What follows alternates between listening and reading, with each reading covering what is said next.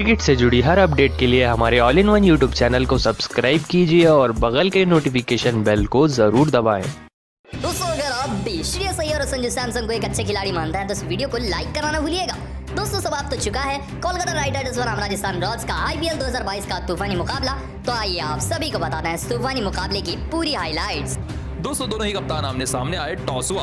दोस्तों इस बार शानदार तरीके से केकेआर के कप्तान श्रेयस अय्यर ने टॉस जीता, टॉस जीत जीतकर गेंदबाजी का किया फैसला। ऐसे में पहले बल्लेबाजी करते हुए शुरुआत खराब रही राजस्थान की। दोस्तों इस तरीके से पड़ी उमेश यादव की गेंद पर सामने का शॉट खेल बैठे और उन्हीं को इस तरीके से कैच दे बैठे एच के चलते, जिसके चलते काफ़ी जल्दी आउट हो गए पदिकल मात्र दो रन बनाकर पाँच गेंदों का सामना करते हुए देवदत्त पडिकल इस मुकाबले में आउट होकर रह गए।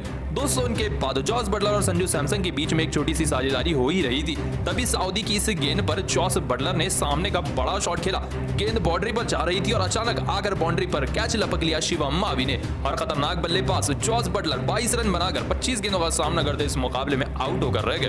दोस्तों उनके बाद बल्लेबाजी कर रहे थे संजू सैमसंग। दोस्तों इस मुकाबले में एक एंड से संजू सैमसंग तूफानी बल्लेबाजी कर रहे थे। लेकिन दूसरे एंड से करुण जो बल्लेबाजी करने आए थे। ये भी अनुकूल रॉय की इस गेंद पर बड़ा शॉट तो खेल बैठे। लेकिन बाउंड्री पर खड़े थे हमारे रिंकू सिंह। जिसके चलते इस मुकाबले में करुण भी तेरह रन बनाकर तेरह गेंदों का सामना करते हुए अपनी बड़ी विकेट गवा बैठे।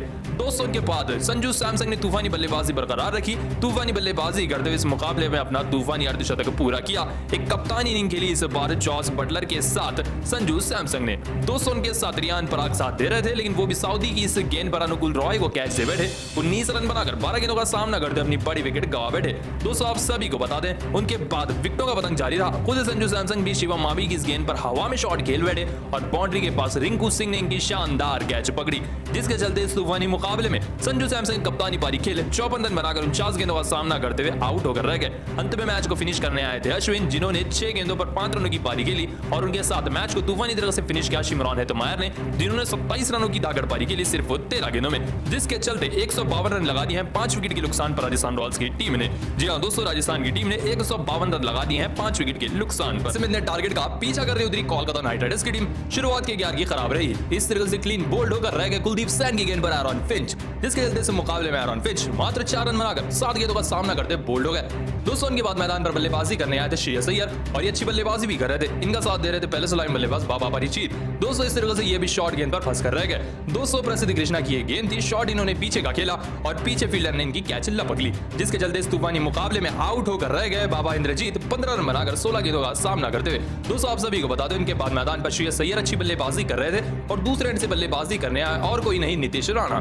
दोस्तों दोनों ने मिलकर मैदान पर अच्छी बल्लेबाजी की और एक बेहतरीन साझेदारी भी निभाई। तभी श्रेयस अय्यर ने गलत शॉट खेला। दोस्तों, बोल्ड की पीछे की गेंद पर एच दे बैठे श्रेयस अय्यर इस तरीके से और गेंद जा रही थी संजू सैमसंग के पास और संजू सैमसंग ने इस तरीके से कैच लगी अंपायर ने इसे नॉट आउट दिया, संजू सैमसंग ने रिव्यू लिया। एच सामने आया और अंपायर अपना डिसीज़न बदलकर इसे आउट दे दिए। जिसके चलते इस मुकाबले में श्रेयस अय्यर चौतीस रन बनाकर बत्तीस गेंदों का सामना करते हुए अपनी बड़ी विकेट गा बैठे इस मुकाबले में। लेकिन उनके बाद मैच को बदला, अचानक बल्लेबाजी करने आए रिंकू सिंह ने।